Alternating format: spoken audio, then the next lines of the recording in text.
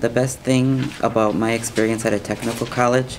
has been uh, building new relationships and um, making new friends, also getting that one-on-one support with my instructors and also getting really involved on campus.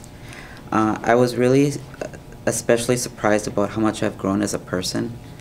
and all of the knowledge I've gained and all of the accomplishments I've made thus far and by having so many resources available to me at WCTC, my parents had to drop off, uh, drop out when they were uh, in their teenage years. My mother dropped out of uh, of school when she was 15 years old, and right away just had to work because that's what you were supposed to do. You had to work just to pay the bills and to put food on the table.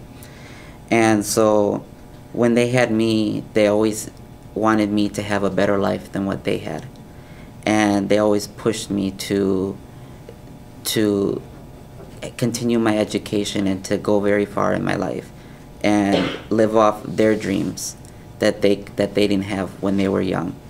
And my mother at at 56 years old now um, has seen all the accomplishments that I've made, and now she wants to return to school and get her GED, and she wants to go very far because